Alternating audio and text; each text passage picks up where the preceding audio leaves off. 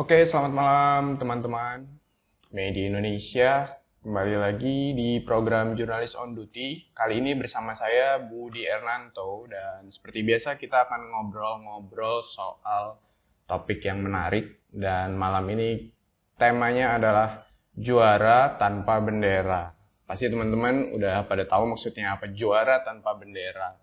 Ya, seperti yang kita tahu, minggu kemarin Indonesia akhirnya berhasil membawa pulang Piala Thomas. Setelah 19 tahun loh kita nunggu, akhirnya kita bisa merasakan lagi gelar juara dari ajang tersebut. Nah, sayangnya pas selebrasi, pas upacara pengalungan medali, itu tidak dibarengi sama pengibaran bendera eh, Indonesia merah putih. Lantaran kita lagi kena sanksi oleh WADA. Apa itu WADA? WADA itu adalah lembaga doping dunia. Di Indonesia namanya LADI, Lembaga Anti Doping uh, Indonesia. Nah, kita disanksi sama federasi atau lembaga internasionalnya. Kenapa bisa kena sanksi? Itu dikarenakan kita gagal atau tidak menyerahkan kata WADA itu kita tidak menyerahkan sampel yang uh, sampel yang diinstruksikan oleh WADA lah ya. Uh, jadi ada beberapa uh, jumlah sampel yang harusnya diberikan oleh Indonesia kepada WADA, tapi itu tidak dilakukan. Uh, itu periodenya pas lagi pandemi. Nah, untuk ngebahas itu kita akan ngobrol-ngobrol dengan dua narasumber. Seperti biasa kita undang narasumber untuk bicarakan hal ini. Yang pertama itu adalah Pak Roy Suryo. Beliau ini adalah uh, Menteri Pemuda dan Olahraga di era Presiden Pak SBY waktu tahun 2013-2014. Nah, narasumber yang kedua adalah Pak Reza Maulana. Nah, Pak Reza Maulana ini uh, bisa akan akan pasti akan ngobrol lebih banyak karena beliau adalah wakil ketua umum LADI periode 2021 2025 nggak usah lama-lama lagi, saya akan coba untuk undang narasumbernya. Hmm.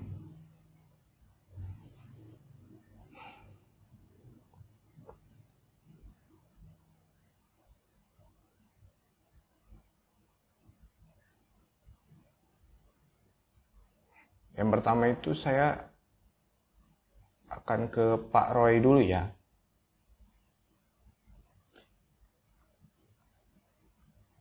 Sebentar. Ke mana dia?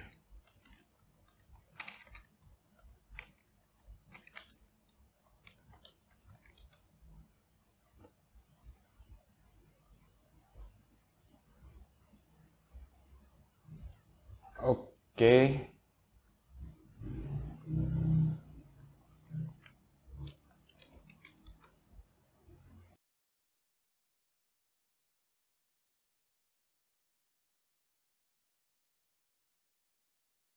Saya akan undang Pak Roy dulu. Tapi kok belum bisa?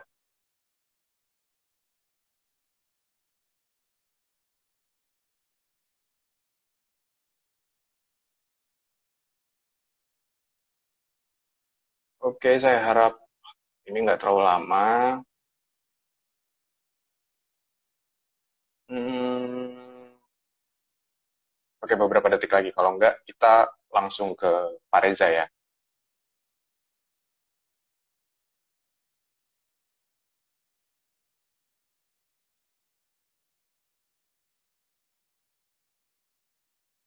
Belum, belum, belum, belum.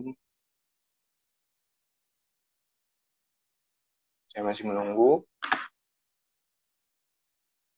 Oke, unable to join. Kalau gitu berarti kita langsung ke Pak Reza.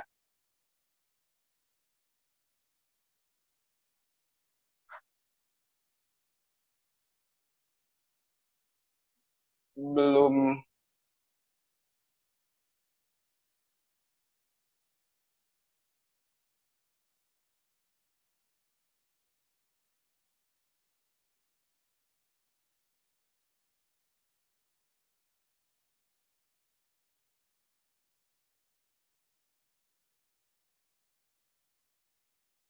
Pak Reza.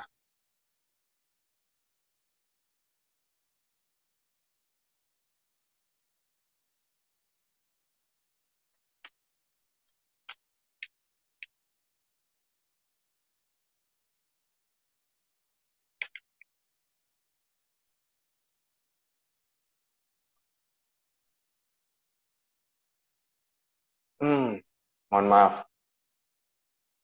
Oke.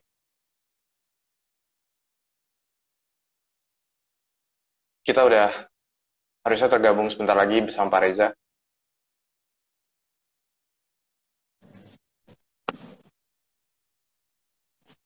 Ya, halo. Selamat malam. Malam Bapak, selamat malam. Iya, selamat malam Pak Reza. Sehat ya? Apa kabar? Alhamdulillah sehat. Gimana sehat kabarnya Pak? Ya, ya, ya. Agak-agak mantul suaranya, Pak.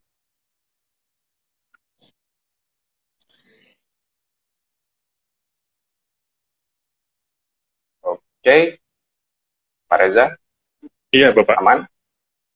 Ya, Sudah, ya. sudah aman Pak. Mm-mm. Pak Reza, ini tadi saya ngebuka acara, tapi eh, kan awalnya mau ngundang Pak Roy Suryo.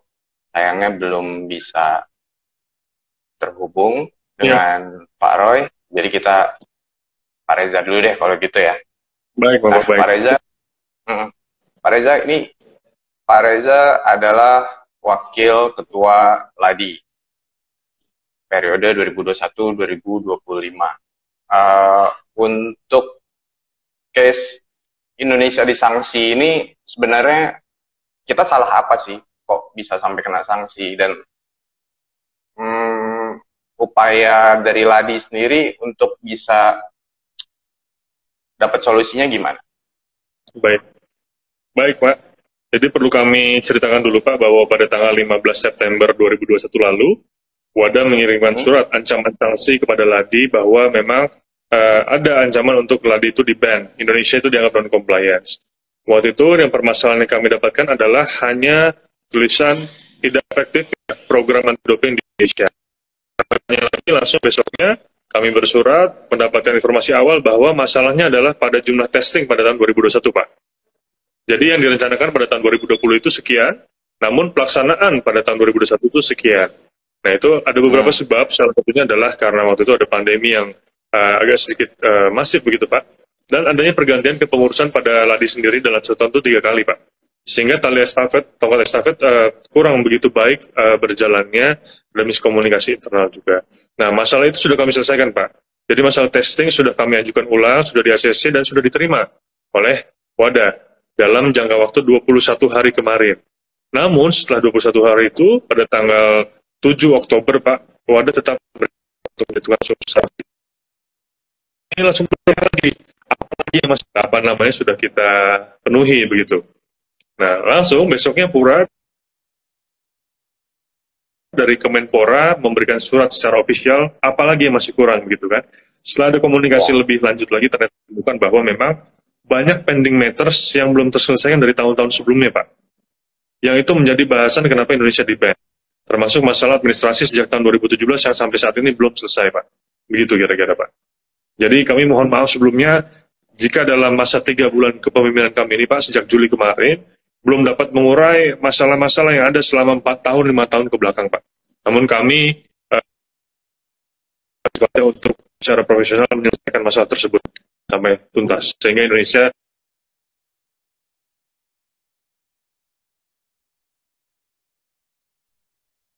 ya, Pak Reza,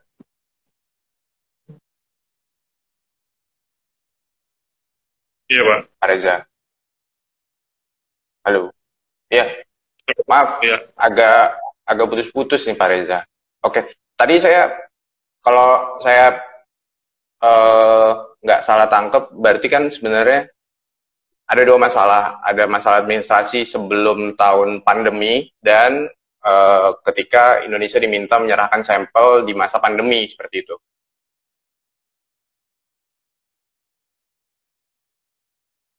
Ya, agak freezing ya. Hmm, oke, oke. Ini muter-muter. Ya, dan terputus.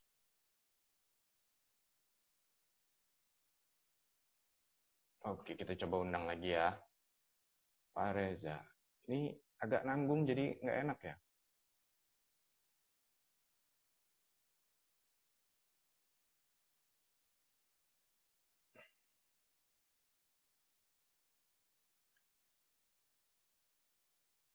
Saya coba undang dulu Pak Reza. Pak Reza, Pak Reza, Pak Reza. Sayangnya belum bisa lagi. Oke. Oke.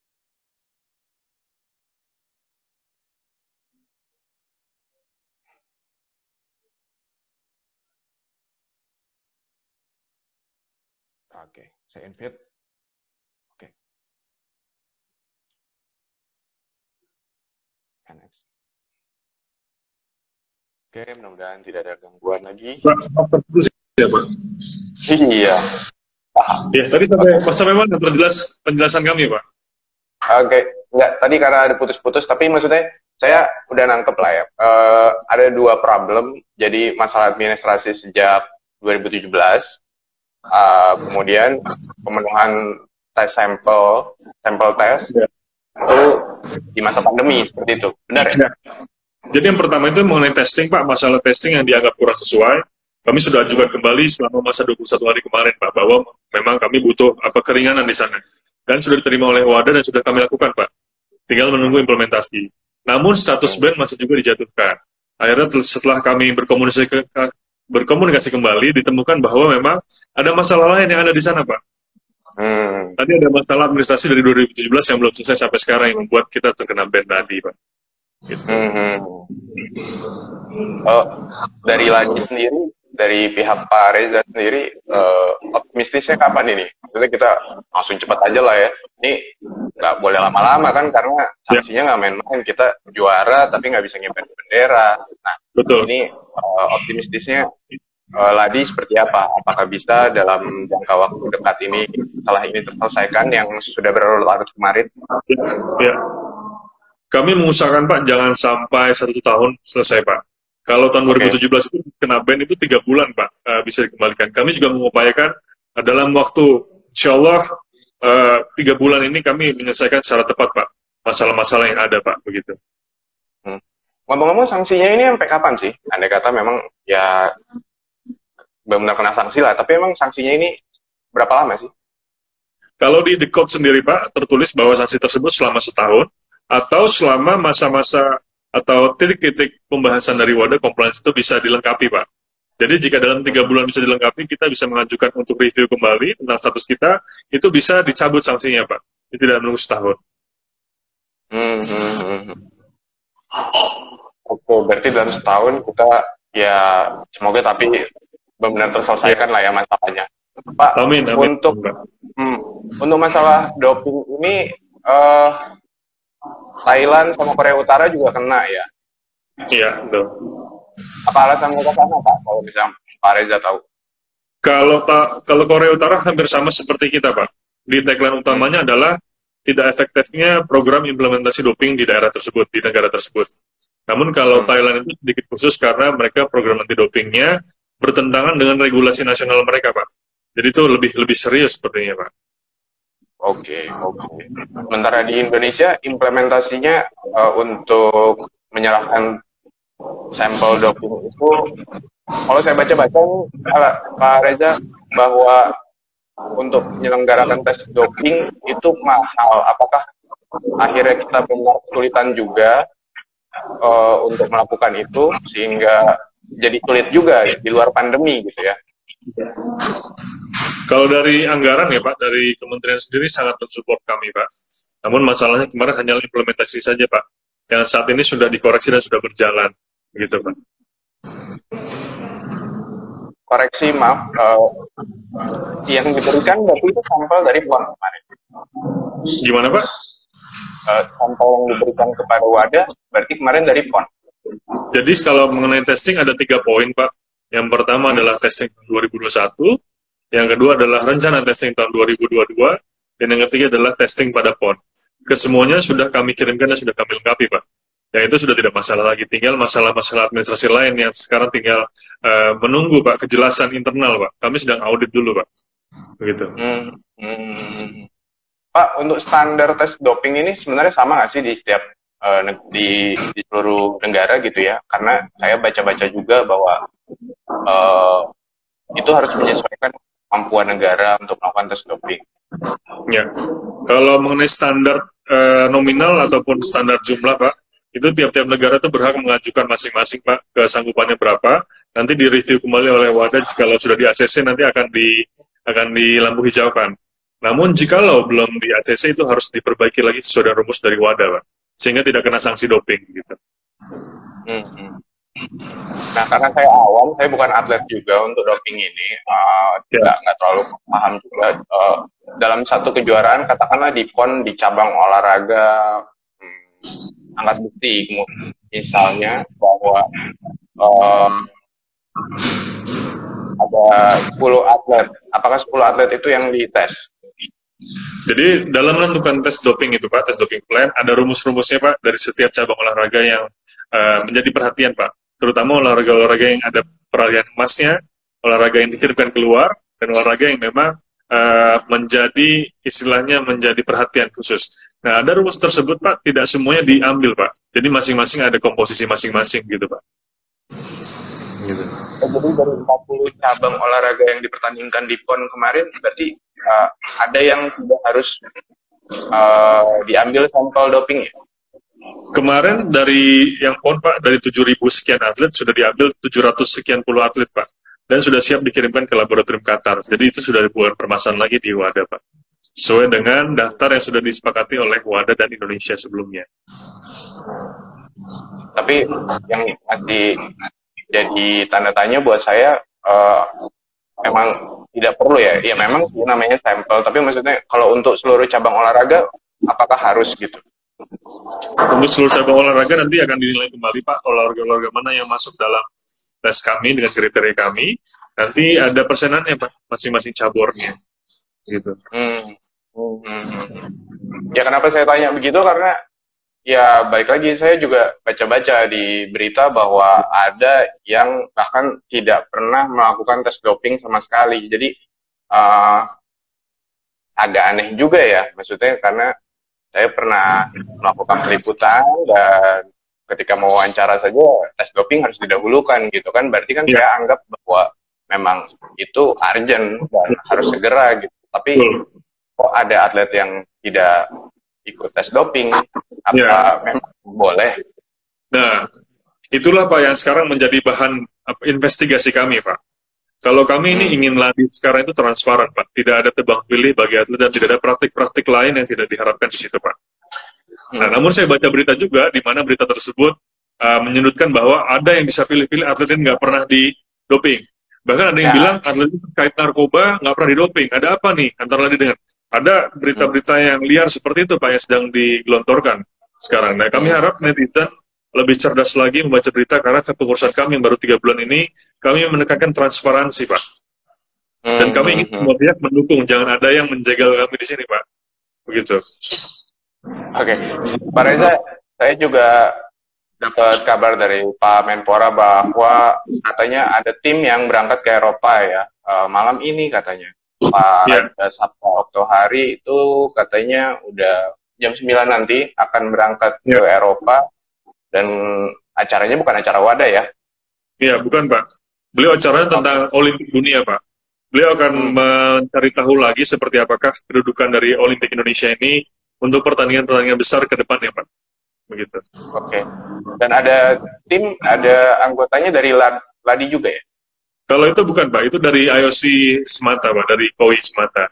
Nanti kalau kami, insya Allah jika ada arahan pimpinan, kami langsung berangkat ke Montreal untuk menjalin komunikasi dengan WADA di sana Pak. Oke, oke. Jadi sejauh ini komunikasi kemarin udah selesai untuk memberikan tes dari 2021. Sudah selesai. Untuk, untuk implementasi. Rencana tahun depan Kemudian yang masih harus dilakukan adalah menyelesaikan persoalan administrasi yang ke belakang tahun 2017 2017, ya. 2019, 2020 Pak. Itu hmm. yang kami kaget juga begitu dapat kabar tersebut ternyata masih ada pending matters yang belum terselesaikan. Oke, oke. Itu mengapa kemarin Pak Menpora sampai membuat satgas khusus Pak untuk menilai ini ada apa sebenarnya ini di kepengurusan ya. Ladi ini Pak. Sehingga kita sekarang ya. juga memilih untuk bersih-bersih dan introspeksi Pak. Kami mohon maaf juga tadi Pak dalam kepengurusan kami baru tiga bulan ini belum dapat apa namanya membeberkan ataupun menginvestigasi seluruh masalah yang ada selama empat tahun lima tahun ke belakang. Namun kami bersungguh-sungguh untuk segera menyelesaikannya sehingga tidak membawa nama buruk bangsa di kancah internasional, Pak. Begitu kira-kira, Pak. Oke, Pak masalahnya apa sih? Oke, kita udah tahu bahwa ada problem itu yang menyebabkan panic fighter. Kemudian, tapi masalahnya apa sih, Pak? Mohon maaf, Bapak, kami belum dapat mengutarakan masalah tersebut sekarang, masih menunggu proses investigasi internal yang sedang berjalan. Namun nanti jika sudah terang semuanya akan kami beritakan uh, kepada publik agar jelas seperti apa masalahnya. Begitu Pak. Baik, baik. Pak, ngomongin soal sanksi, uh, memang pada umumnya satu tahun atau bisa lebih atau ada sanksi lain juga seperti apa sih Pak? Uh, biasanya hukuman dari wadah itu? Sanksi tersebut sebenarnya kalau standar satu tahun Pak, namun ada kata-kata di bawahnya di mana jikalau sudah ada uh, penyelesaian dari seluruh pending matters yang ada, maka kita dapat mengajukan banding kembali untuk direview, Pak. Apakah kita sudah compliance atau belum? Kalau sudah, kita maka pada waktu juga, yes, dua bulan, tiga bulan bisa diangkat, Pak. Seperti 2017 lalu, jika ada permasalahan doping waktu itu, Pak, sama juga kasusnya di band pas mau Asian Games, ternyata ada proses penyelesaian dan dapat diangkat segera. Indonesia kembali status normal dan dapat mengibarkan bendera uh, di kancah internasional tadi. Gitu, Pak. Hmm. Eh, sanksinya hanya itu aja ya biasanya ya Pak ya? Uh, tidak bisa ya, sanksinya bendera dan lagu kebangsaan tidak bisa diputar dan tidak dapat menyelenggarakan event yang berskala internasional maupun nasional Pak. Tapi kenapa kemarin di Piala Thomas kita bisa mendengarkan itu ya Pak lagu kebangsaan? Itu ada upaya negosiasi Pak, ada upaya komunikasi dari kami Pak dan juga Kemenpora terhadap uh, federasi penyelenggara Thomas Cup tersebut sehingga kita dapat jalan tengahnya walaupun bendera PBSI namun lagu kebangsaan Indonesia dapat tetap dikumandangkan Pak. Oh, komunikasi justru dengan BWF bukan dengan Wadah. Uh, komunikasinya dua Pak dengan Wadah juga dan juga dengan BWF Pak. Begitu. Makanya masalah Indonesia ini sebenarnya tidak terlalu apa namanya, walaupun ini sangat harus diseriusi Pak. Namun ada sedikit oh, kejelasan apa sih masalahnya. Itu yang terus kita gali Pak. Ternyata ditemukan bahwa sampai tahun 2017 itu ada permasalahan yang belum selesai. Mungkin wadah atau BWF mengira bahwa memang itu harus uh, dilihat secara apa secara uh, bijak ya Pak. Apakah national anthem dan juga bendera dua tidak dapat dikibarkan. Namun kemarin kan bendera memang tidak dapat dikibarkan, namun national anthem dapat berkumandang di sana Pak. Hmm, berarti hmm, seandainya Thailand dan Korea Utara yang kena sanksi, bisa juga melakukan itu ya, lobby-lobby itu? sebenarnya bukan lobby-lobby ya Pak. Mereka lebih melihat beberapa persen progres yang sudah dilakukan oleh masing-masing okay. uh, National Anti-Doping Agency-nya Pak. Karena mereka mungkin melihat kami sudah sangat berupaya keras Pak, sehingga mereka mengizinkan untuk National Anthem itu dapat diputar Pak. Karena memang tes doping prosedur dalam 21 hari kami selesaikan dan sudah kami implementasikan Pak. Hanya kagetnya adalah ternyata di dalam info bahwa banyak sekali pending matters sebelumnya ya. yang belum dapat diselesaikan. Ya, ya. Pak, untuk sanksi lainnya bahwa kita juga dilarang menggelar uh, ajang olahraga internasional. Itu memang sebelum-sebelumnya wadah seperti itu atau bagaimana, Pak? Memang peraturannya seperti itu, Pak. Tidak diperbolehkan dengan organisasi kejuaraan internasional maupun nasional. Namun kami sempat konsultasi juga dengan Sekjen NOC, Pak, Pak Ferry Gono kemarin. Beliau memberikan kabar yang menurut kami sangat baik, di mana ada kabar bahwa sanksi wadah ini tidak bersifat surut ke belakang. Dalam artian, segala hmm. macam MOU mengenai organisasi keolahragaan dan juga acara internasional sudah dilakukan sebelum sanksi ini dapat masih dijalankan. Sebagai contoh, di Thailand kan nanti pada bulan Maret, Pak, walaupun mereka sudah kena sanksi, kejuaraan martial arts dari Thailand tetap diselenggarakan di sana, Pak. Tetap okay, bergulir di Thailand. Ya. Oh. AIMAK kalau tidak salah. Oke. Okay. Nasib ya. Indonesia seperti apa, Pak? Uh, untuk beberapa event yang pasti ya. sudah akan diselenggarakan di uh, bulan depan, ya. USBK. Ya. Seperti kemarin ada MotoGP ya Pak di Mandalika, ada juga acara di Bali ya. itu seperti sudah ada MOU sebelum ini, sebelum sanksi wadah terjadi, sehingga kami berharap acara tersebut dapat diselenggarakan juga. Dan juga kami berharap bahwasannya sanksi ini sudah dapat kita angkat sebelum acara tersebut terselenggara Pak, sehingga dapat Amin. lebih baik lagi. Pak, untuk Formula E seperti apa ya Pak? Uh, jika sebatas hanya masuk kalender saja, apakah itu berarti sudah memastikan bahwa Indonesia sebagai tuan rumah? Ya, kami harus koordinasi kembali Pak, khusus untuk Formula E, karena kabarnya masih harus kami klarifikasi lagi Pak. Hmm, oke, okay, oke, okay, oke, okay, oke. Jadi, kita tinggal tunggu kabar baik lagi dari Ladi. Semoga Pak, mohon doanya, mohon supportnya Pak. Mohon ya. uh, teman-teman media khususnya Pak, membantu pemberitaan agar tidak simpang siur, karena banyak sekali media-media yang simpang siur sekarang Pak. Yang mengarahnya ke mana-mana.